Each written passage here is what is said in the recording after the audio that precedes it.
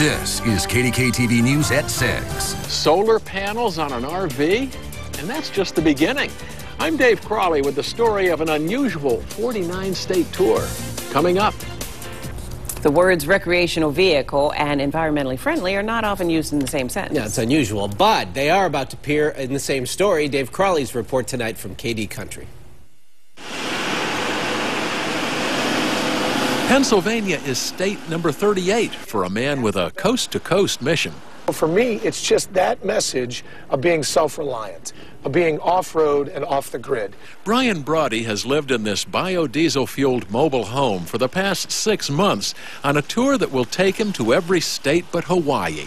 I talk to a lot of people that say, well, someone else has climbed Mount Everest. Someone else has kayaked the Everglades. Someone else has done it. There's no place left to explore.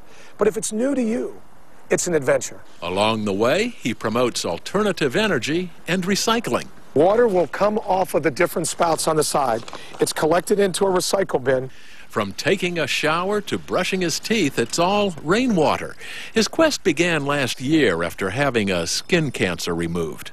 I just started studying everything I could about the sun's energy and the harmful effects of UV. He also discovered the positive effects of solar energy. We use it to power the refrigerator, the microwave, all the lights. There are three more solar panels here on the roof. They power everything except the air conditioner, but they recirculate the air inside, so he doesn't need it.